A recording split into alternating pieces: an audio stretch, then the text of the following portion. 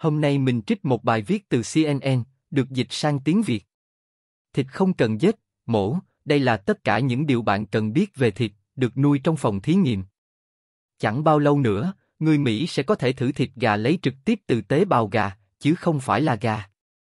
USDA đã bật đèn xanh cho Upside Food và Good để bắt đầu sản xuất và bán các sản phẩm thịt gà được nuôi trong phòng thí nghiệm hoặc được nuôi trồng tại Hoa Kỳ. Tuy nhiên, đừng vội chạy đến siêu thị. Sẽ mất một thời gian trước khi bạn có thể mua thịt dựa trên tế bào ở các cửa hàng, mặc dù vậy, bạn sẽ có thể nếm thử ở nhà hàng sớm hơn. Đây là tất cả mọi thứ bạn cần biết về thịt được nuôi trong phòng thí nghiệm. Nó là gì? Tóm lại, thịt được nuôi trong phòng thí nghiệm hay thịt được nuôi cấy hoặc lấy từ tế bào là thịt được phát triển từ tế bào động vật và được nuôi dưỡng với sự trợ giúp của các chất dinh dưỡng như axit amin trong các lò phản ứng sinh học lớn. Điều này xảy ra trong một cơ sở sản xuất, trông rất giống một nhà máy bia. Khi bạn hình dung nó, đừng nghĩ đến những người mặc áo khoác trắng và đội mũ che tóc, đang nhìn qua kính hiển vi vào các đĩa Petri, mà thay vào đó là những người mặc áo khoác trắng và đội mũ trùm đầu, đi lang thang giữa các thùng khổng lồ. Khi thịt đã sẵn sàng, các công ty thu thập thịt từ lò phản ứng sinh học và di chuyển dọc theo dây chuyền chế biến. Andrew Noyes, người đứng đầu bộ phận truyền thông toàn cầu và quan hệ công chúng tại công ty mẹ Goodmeat Ipsos, cho biết protein của Goodmeat trông rất giống một con gà băm khi được chiết xuất. Có gì tuyệt vời về điều đó? Thứ nhất, nuôi thịt từ tế bào, có nghĩa là con người có thể ăn thịt mà không cần phải giết mổ động vật. Upside Phúc giải thích rằng, các tế bào mà nó thu thập từ trứng gà đã thụ tinh sẽ được lưu trữ trong ngân hàng tế bào của nó và có thể được sử dụng trong ít nhất 10 năm. Noyce cho biết, tế bào động vật có thể đến từ sinh thiết động vật, hoặc thậm chí từ lông vũ, cùng nhiều nguồn khác. Ngoài ra, còn có những cân nhắc về môi trường. Nông nghiệp, đặc biệt là chăn nuôi, chịu trách nhiệm thải ra một lượng đáng kể khí thải nhà kính, góp phần gây ra biến đổi khí hậu. Việc đại tu hệ thống đó có thể giảm bớt gánh nặng cho hành tinh. Để sản xuất thịt nuôi trồng, nhu cầu sử dụng năng lượng rất cao, Bruce Friedrich, chủ tịch và người sáng lập Viện Thực phẩm Tốt, một nhóm phi lợi nhuận khuyến khích các loại protein thay thế, cho biết. Tuy nhiên, những nhu cầu năng lượng đó sẽ được bù đắp bằng việc giảm sử dụng đất, nước và các lợi ích khác. Ông nói thêm rằng, năng lượng tái tạo là cách chúng ta thu được lợi ích tối đa về khí hậu. Nếu thịt nuôi cấy được sản xuất trên quy mô lớn, nó cũng có thể mang lại giải pháp cung cấp lương thực cho dân số ngày càng tăng trên thế giới. Có phải là món ăn chay không? Không. Không giống như các loại thịt có nguồn gốc thực vật, như các sản phẩm do Impossible Food và Beyond Meat, BING, sản xuất, thịt nuôi trồng sử dụng tế bào động vật, nên không được coi là món ăn chay. Friedrich lưu ý, bởi vì thịt được nuôi trồng đến từ các tế bào, chứ không phải từ động vật có ruột, cho nên chúng không tiếp xúc với các loại chất gây ô nhiễm, mà có thể gây bệnh cho thịt khi được thu hoạch theo truyền thống. Ông nói, điều đó có nghĩa là thịt nuôi trồng không được có vi khuẩn E. coli và Salmonella. Những người ăn thịt lo ngại về những loại rủi ro đó thì có thể thích thịt nuôi trồng hơn. Nhưng, những thực khách đang cố gắng giảm tiêu thụ thịt hoàn toàn sẽ không tìm ra giải pháp ở đây. Vậy nó có vị như thịt thông thường không? Về cơ bản là có. Đó là nhận định của cựu phóng viên CNN, Julia Horowitz, người đã thử món thịt viên làm từ tế bào do EV Farm Technology, một công ty của Anh sản xuất.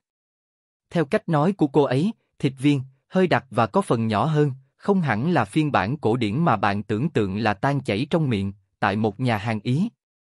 Tuy nhiên, cô lưu ý, nó có vị giống như thịt truyền thống và hương vị đầy đủ và thơm ngon. Một phóng viên của CNET đã thử món gà trồng của úc sai phúc cho biết, món này thực sự có, có vị giống thịt gà. Những người khác đã thử món gà nuôi của Cúc Mít được phép bán ở Singapore vào năm 2020, cũng có phản ứng tương tự. Những gì đã được phê duyệt ở Mỹ? Cơ quan kiểm tra và an toàn thực phẩm của USDA đã phê duyệt đơn đăng ký, cấp kiểm tra của Upside Food và Cúc Mít. Theo người phát ngôn của FSIS, những loại đơn đăng ký đó được phê duyệt theo một quy trình nghiêm ngặt, bao gồm việc đánh giá hệ thống an toàn thực phẩm của công ty. Ngành công nghiệp, thịt nuôi trồng non trẻ, được quản lý bởi cả USDA và FDA. Trong nhiều tháng qua, các cơ quan đã từng bước phê duyệt các sản phẩm. Vào tháng 11, FDA đã gửi thư, không thắc mắc, tới Upside Food, về cơ bản, nói rằng họ không có thêm câu hỏi nào về độ an toàn của sản phẩm và do đó coi nó an toàn cho tiêu dùng. Goodmeat nhận được một lá thư tương tự vào tháng 3.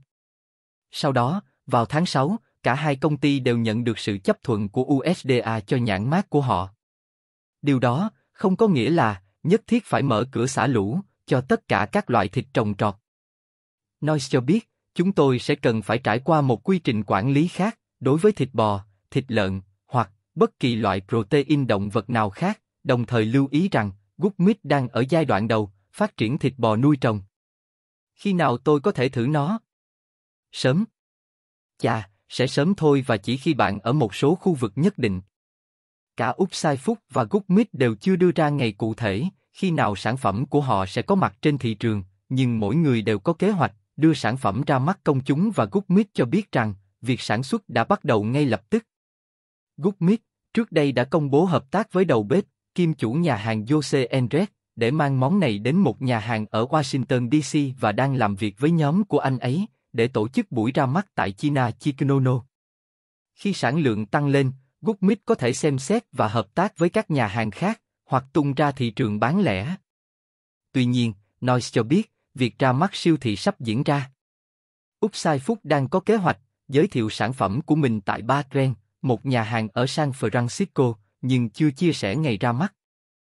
Một đại diện cho biết, việc bán hàng tại Ba Gren sẽ giúp Upside Food tìm hiểu thêm về cảm nhận của các đầu bếp và thực khách về sản phẩm. Cuối cùng, công ty có kế hoạch hợp tác với các nhà hàng khác và cung cấp sản phẩm của mình trong các siêu thị.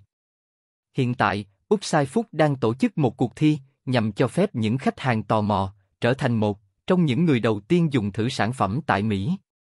Chi phí để thực hiện là bao nhiêu? Nhiều. Phải tốn hơn 300.000 đô la để phát triển loại bánh mì kẹp thịt đầu tiên, được trồng trong phòng thí nghiệm, được phục vụ cách đây một thập kỷ. Công ty EV Farm của anh cho biết, năm ngoái, họ có thể sản xuất một sản phẩm tương tự, với giá dưới 50 đô la Mỹ, CNN đưa tin trước đó. Đó là một cải tiến căn bản, nhưng nó vẫn cao hơn nhiều so với chi phí của một chiếc bánh mì kẹp thịt truyền thống và hãy tưởng tượng mức tăng giá. Noise không chia sẻ con số cụ thể, nhưng lưu ý rằng việc đạt được mức giá ngang bằng đối với chúng tôi từ quan điểm chi phí hàng hóa và quan điểm chi phí sản xuất là một thách thức lớn. Ông nói thêm rằng công ty có con đường để đạt được điều đó.